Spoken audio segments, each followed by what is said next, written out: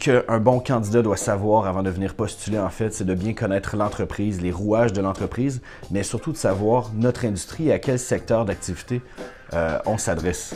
Tout simplement, à venir déjà soi-même avec ses idées, avec son parcours, avec son savoir, et euh, pouvoir euh, eh bien, se préparer à nous expliquer en quoi demain vous apporterez une valeur particulière à LinkByNet.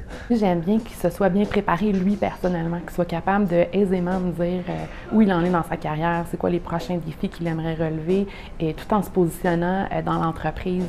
c'est important que les, les, jeunes nous connaissent très bien avant de venir en entrevue. Dans le fond, euh, notre idée première, c'est qu'on veut qu'ils euh, nous connaissent euh, pour qu'on puisse s'assurer qu'ils sont vraiment intéressés à Demersbond.